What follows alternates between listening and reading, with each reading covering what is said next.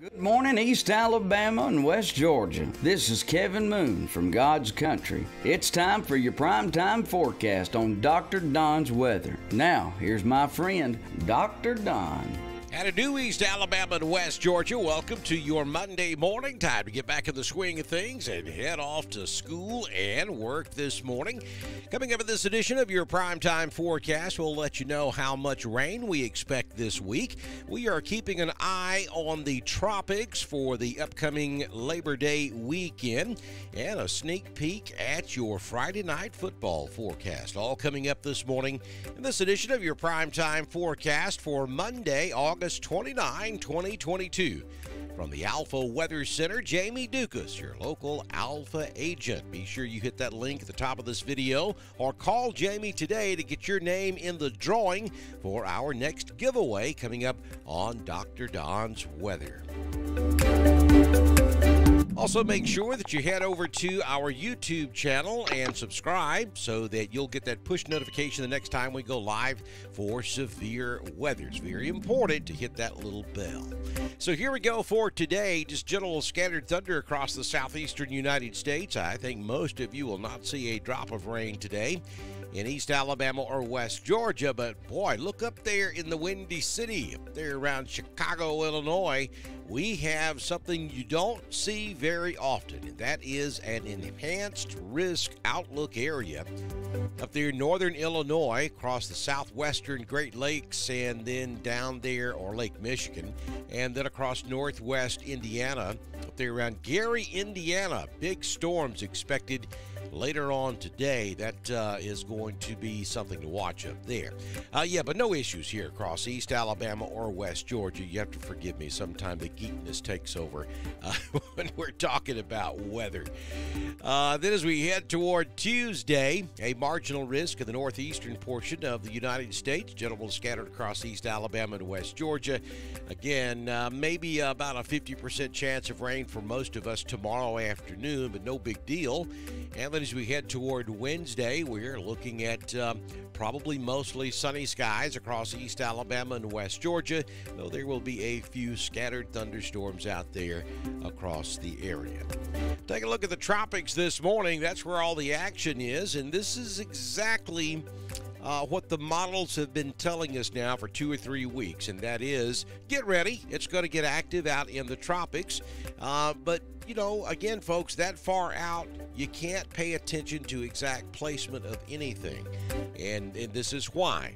For the last uh, couple of weeks, the Monday morning quarterback club meteorologists have been screaming, oh, it's going to be bad Labor Day weekend. We're going to have storms all over. We're going to have tropical systems. We may have two hurricanes out there. And they've been hyping all this junk. Uh, and here we are about five days away from that weekend, and we do have a lot of systems on the board. But here's the deal that one you see down there in the Caribbean, number three, has very little chance of developing into anything because it's about to interact with the mountainous region there across the Yucatan Peninsula. It's probably not going to do anything. Uh, number two is going north and eventually northeast. It's out of here.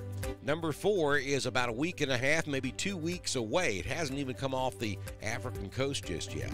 So the one to watch is number one all, and I mean just about every last one of the medium and long range models this morning are suggesting that one probably will develop, but it's going to curve back to the north and eventually northeast.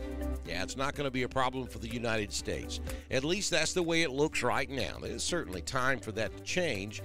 Uh, but over the last couple of two or three years, the Hurricane Center's gotten pretty good with forecasting the eventual track of storms. So at the moment, they're showing number one curving back to the north and then back to the northeast. And uh, if I were a betting man, I would take that one. I think that's a pretty good uh, bet. And, and, there's a look uh, at what we're talking about here.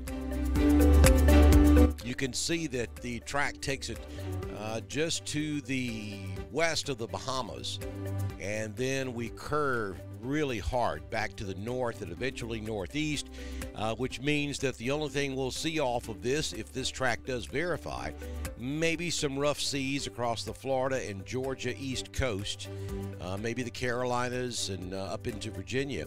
Yeah, but no big deal.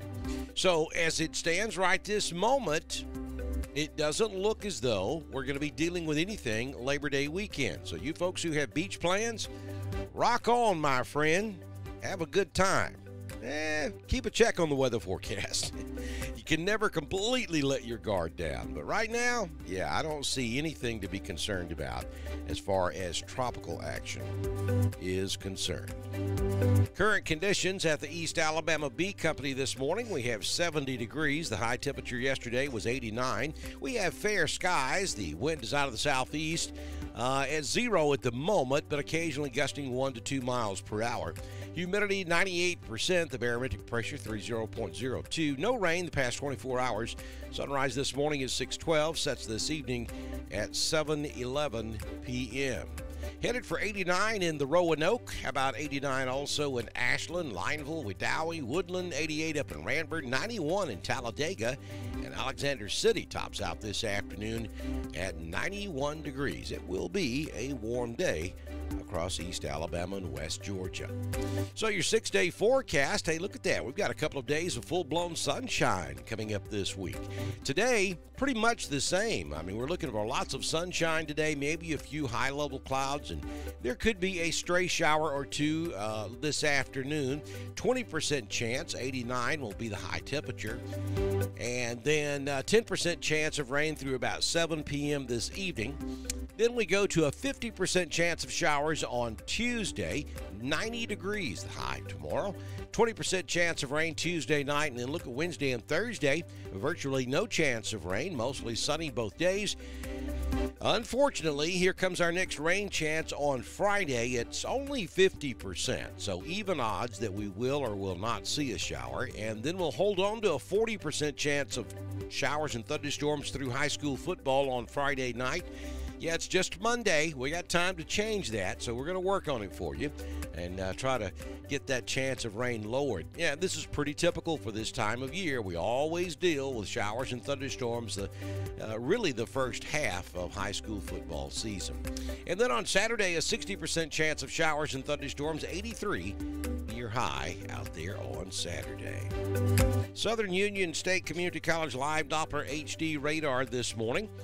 Scanning uh, the entire southeastern United States, we have showers and thunderstorms down there around St. Mary's, back up to Brunswick, and then right along the Georgia east coast up to around Savannah, Hilton Head, South Carolina, and then up to around Charleston. And then we have a few scattered showers out on the Florida west coast uh, from Tampa all the way back up to the Big Bend area. Looking pretty good this morning across the Alabama and northwest Florida coast. And we see no precipitation across East Alabama or West Georgia at this hour.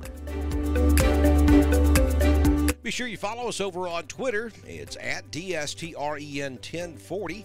We broadcast all of our weather information on Twitter, just as we do on Facebook, YouTube, and at drdonwx.com, where you can download the brand new Dr. Don weather app. And also in the upper right hand corner of our homepage, there you can send us some love by clicking on that donate button.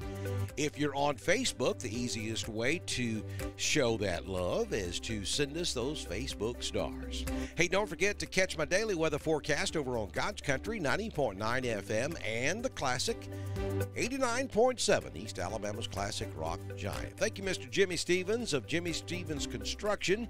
Mr. Jimmy is one of our partners here on Dr. Don's Weather, as well as Miss Donna McKay, the town of Wadley in downtown Wadley.